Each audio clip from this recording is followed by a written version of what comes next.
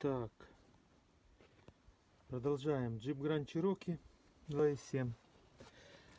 Э, у нас было перед этим видео, как я завоздушил систему, та-та-там, поставил там я грушу.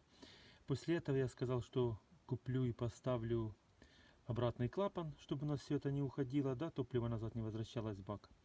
Что я вам хочу сказать по, по, по этой теме, да? В общем, купил я не просто клапан, вот этот обратный, да? Я еще купил фильтр. Фильтр этот магнитный. Может вы еще не слышали про такие фильтры, Э, чем они хороши, уже можете в интернете посмотреть. Видосов много на эту тему. Пусть там люди вытягивают из э, этих жестких дисков, разбирают там вот эти магниты, ставят. Ну тут уже все профессионально сделано. И чем мне нравится еще эти и клапан, и этот фильтр, кому э, нужно, я скажу, что это за производитель, найду где-то там АТР или как-то так называется. Э, они разборные, то есть тут разобрал, э, колечко идет магнитное очень сильное, и там будут все частички оставаться здесь.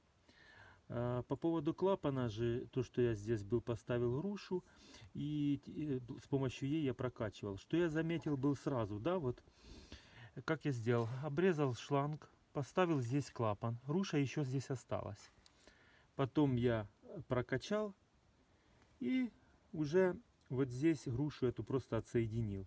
Что я заметил, что просто топливо оно стоит вот на месте, оно реально уже в этой, с этой шланги никуда не уходит. То есть назад в бак оно 100% уже не- совсем не, ну, никуда не, не уходит.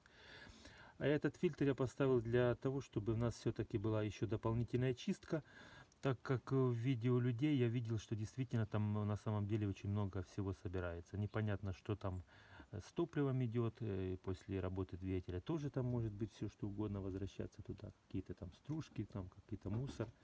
Э, В общем, это все будет собираться здесь. Э, С производителями разговаривал, он сказал, не надо туда лазить, как там в видео говорят, тысяча километров, и там уже, в общем, все. Он сказал, будешь менять фильтр, и можешь этот фильтр магнитный тоже разобрать и убрать вот, эту, вот этот налет магнитный, что здесь будет ос- ну, собираться.